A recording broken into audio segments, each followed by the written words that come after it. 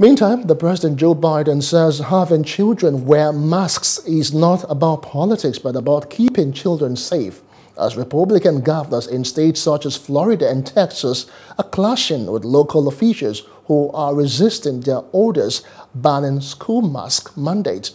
Now, the U.S. Centers for Disease Control and Prevention's uh, recent decision to recommend that all students and staff wear masks in school regardless of vaccination status has caused confusion and frustration among parents, educators, and officials just weeks before many states start the new school year with in-person learning.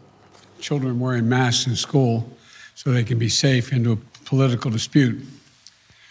And that this isn't about politics.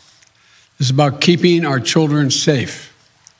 I saw a video and reports from a Tennessee uh, of protesters threatening doctors and nurses who were before a school board making the case that to keep kids safe, there should be mandatory masks. And as they walked out, these doctors were threatened, these nurses were threatened. You know, our healthcare workers are heroes. They were the heroes when there was no vaccine.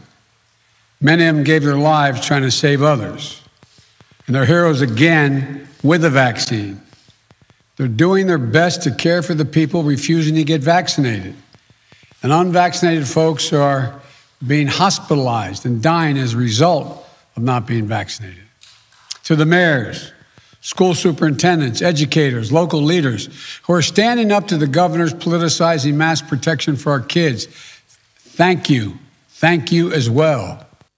Hello, hope you enjoyed the news. Please do subscribe to our YouTube channel and don't forget to hit the notification button so you get notified about fresh news updates.